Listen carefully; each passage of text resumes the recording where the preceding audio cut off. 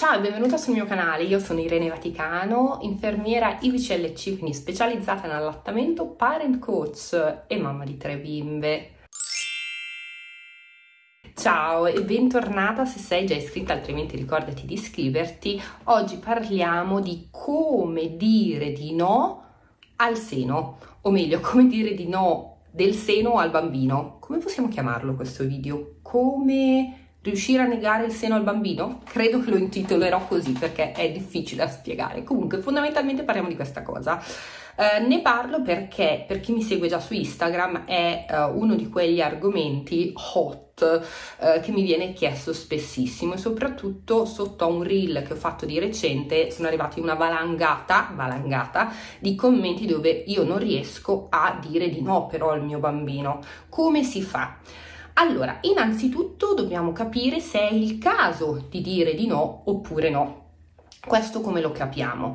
Intanto chiediamoci che cosa sta vivendo il bambino in linea generale nella sua vita, quindi è una fase tipo uno scatto di crescita, è una tappa dello sviluppo, eh, c'è ansia da separazione, sta imparando qualcosa a livello neuromotorio di molto importante, eh, scusate, ma mi prude il naso perché come vedete c'è qua sotto il gatto, io sono allergica ai gatti. Questo video sarà molto grattato. Uh, ci chiediamo uh, che momento emotivo sta vivendo il bambino, non lo so, uh, la mamma è rientrata al lavoro, l'inserimento al nido, lo spannolinamento, sta arrivando un fratellino, una sorellina, ci sono tanti momenti in cui ci può essere una sorta di riacutizzazione della richiesta del seno dove è sicuramente molto più difficile dire di no perché è proprio un bisogno che esprime il bambino. Fondamentale capire questa cosa, cioè il bambino non ci chiede il seno per un capriccio, ma ci chiede il seno sempre perché c'è dietro un bisogno. Quindi cominciamo con una domanda.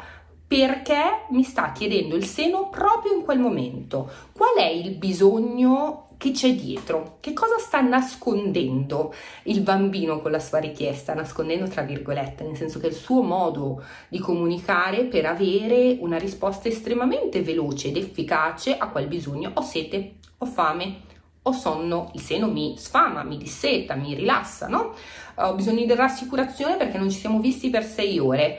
Mi attacco al seno, vedo che tu mi coccoli, che sei lì vicina e ovviamente sono rassicurato. Eh, quindi il seno è la panacea di ogni male, non c'è nulla di male a rispondere ai bisogni del bambino con il seno, ma può arrivare, potenzialmente arriva, un momento intorno all'anno e mezzo, due anni, eccetera, dove la mamma è un po' stanca di allattare e si rischia di arrivare veramente all'esaurimento dove dici assolutamente non voglio più allattare, come dico di no al mio bambino? A parte il fatto che ho fatto un altro video sul, proprio sullo smettere di allattare, te lo linko qua e ti invito ad andare a vederlo se stai pensando a questa cosa, se pensi di voler smettere di allattare prima assolutamente guarda quel video, poi decidi. Detto questo, mettiamo che non vogliamo smettere di allattare, ma vogliamo dare delle regole, no? Mettere eh, dei paletti al bambino e quindi dirgli di no. Prima assicuriamoci che il bambino sia ben riposato e che sia nello stato psico, emotivo e fisico di poter accettare e gestire la frustrazione derivante dal no del seno.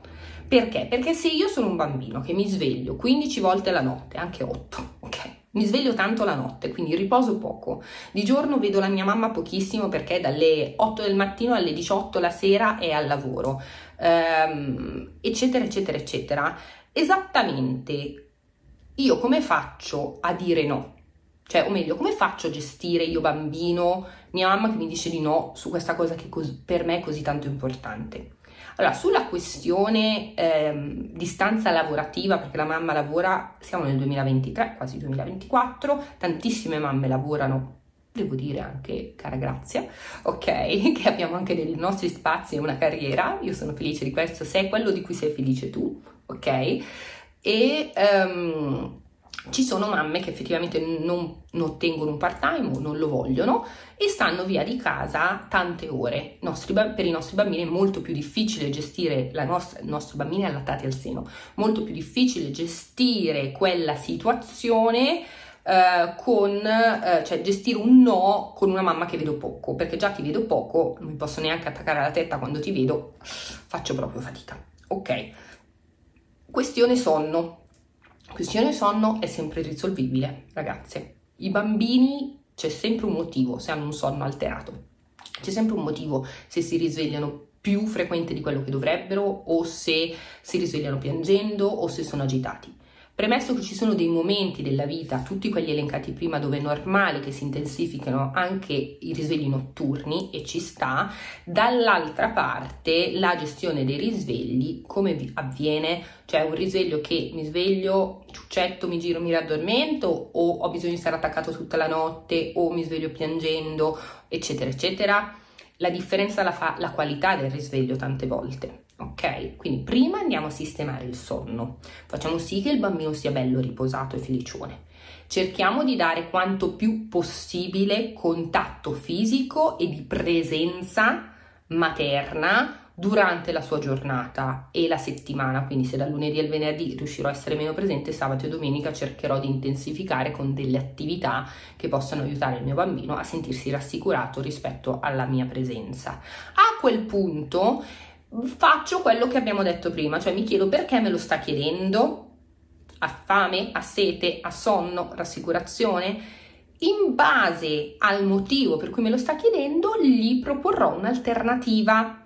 Il bambino tante volte ha bisogno di sentirsi capito eh, e compreso e accettato, ma soprattutto accolto nei suoi bisogni. Ok? Non ha bisogno del seno, ha bisogno di sentirsi accolto, ok? E compreso. Quindi, se noi vediamo, vi do una tips pratica, che durante la giornata eh, c'è sempre un certo orario in cui il bambino ha fame e in cui ciuccia proprio bello drenando il seno, ok?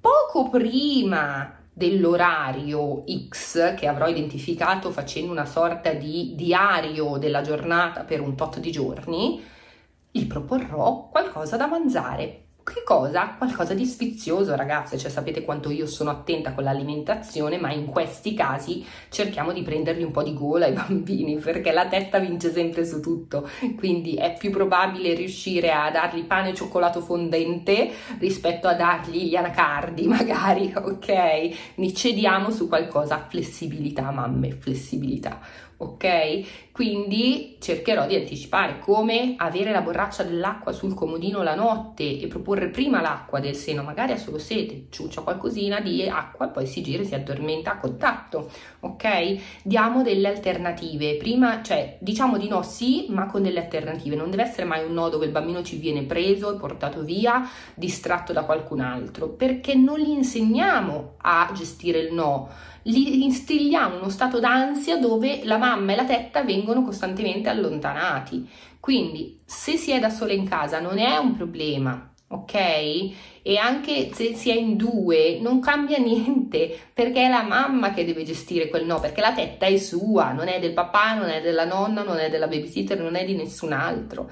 È lei che deve comunicare con suo figlio e dirgli facciamolo in un altro modo, ok? Non è il non te lo do, è facciamo quella cosa che ha scatenato il tuo bisogno, cioè rispondiamo al tuo bisogno in un altro modo insieme, mai lotta di potere. Io spero che questo video vi sia stato utile. Se avete bisogno di un supporto concreto, non fatevi problemi, questo è il mio lavoro per chi non lo sapesse.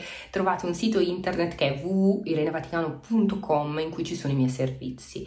Nel percorso un mese con Irene, quello che facciamo è andare a mettere in equilibrio il bambino, far sì che dorma, che sia tranquillo emotivamente, che abbia le sue rassicurazioni e poi andiamo a ristabilire un equilibrio anche in allattamento con delle regole, con uh, un ritmo che sia giusto per te e che ti renda serena nell'allattare il tuo bambino e che non te lo faccia più vivere come uno stress. Se hai bisogno, tutte le info sono in info box.